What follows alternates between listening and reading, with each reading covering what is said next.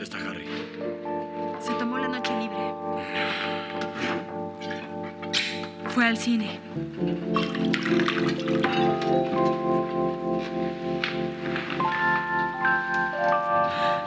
¿Y su hermoso caballo?